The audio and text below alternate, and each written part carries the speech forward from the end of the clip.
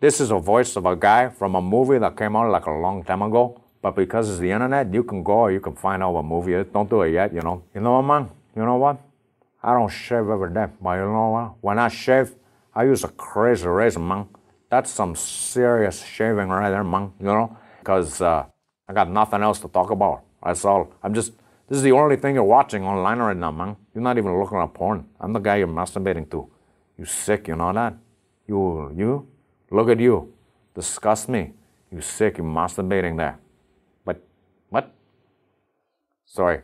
Menstruating. You look at you, menstruating. You a man, menstru- You should have this blade shaved. We're probably gonna cut this out, man.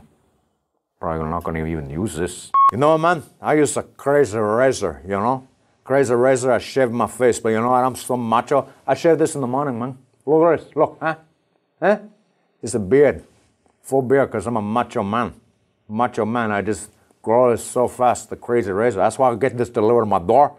Once a month, man, it comes. You know? Less than eight dollars. That's some serious savings, man, you know? Come in, you shave your face, you got a lady, you know?